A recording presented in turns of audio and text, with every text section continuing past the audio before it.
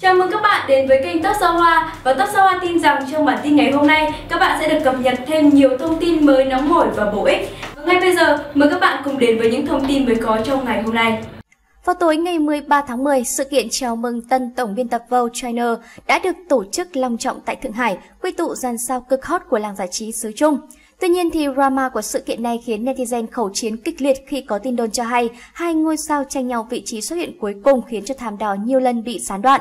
Lùm xùm này chưa qua, bê bối khác lại tới. Trên trang vô bức ảnh chụp tập thể dàn sao với tân tổng biên tập tiếp tục trở thành đề tài tranh cãi mạng xã hội. Rất nhiều netizen nhận xét rằng, dù rằng là ngôi sao hạng A của Cbiz nhưng Dương Mịch hoàn toàn chìm nghỉm trong bức ảnh quyền lực.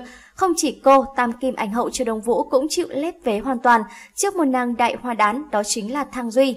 Vẻ đẹp cuốn hút thần thái sang chảnh của người đẹp 42 tuổi lu mờ tất cả gian sao có mặt trong bức ảnh này, bao gồm thêm cả nàng đồng dao và hai siêu mẫu.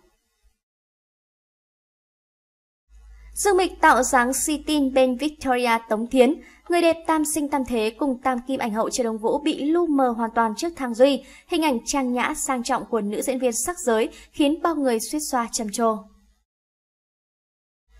Dàn siêu mẫu phía sau cũng trở nên mờ nhạt trước nhan sắc của Thang Duy.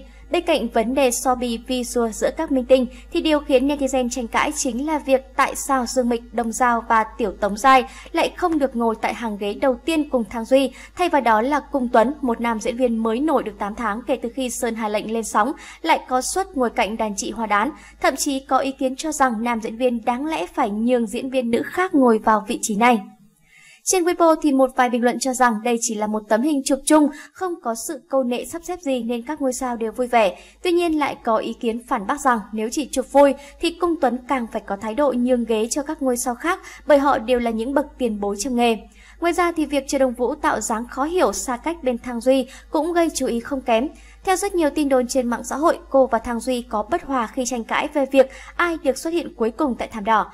Hiện chưa rõ thực hư tin đồn ra sao nhưng trong bức hình chụp chung, Trần Đông Vũ bị cho là lạc quẻ khi thể hiện thái độ xa cách giữa bao đồng nghiệp nở nụ cười tươi tắn rạng rỡ. Vào tối ngày 14 tháng 10, Triệu Lệ Dĩnh nhận lời mời tham dự sự kiện tuyên truyền cho một nhãn hàng cùng livestream giao lưu với khán giả. Trước giờ G thì studio đăng tải loạt ảnh hậu trường của mỹ nhân họ Triệu, khiến người hâm mộ đứng ngồi không yên với tạo hình sang chảnh ngút ngàn. Diện đầm đỏ thuộc dòng cao cấp của một thương hiệu đình đám, nàng Sam Sam nhận được nhiều lời ngợi khen vì nhan sắc ngọt ngào và khí chất quý phái như quý tộc. Phần lưng áo được thiết kế tinh xảo càng khéo léo tôn vóc dáng mảnh mai của người đẹp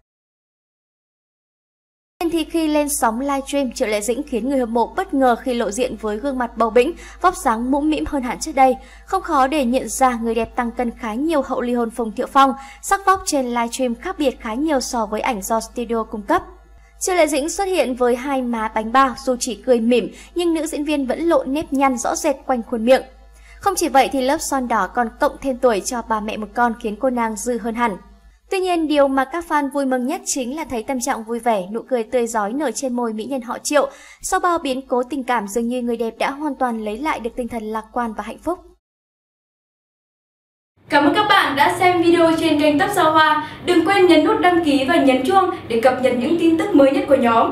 Và bây giờ, chào tạm biệt và hẹn gặp lại.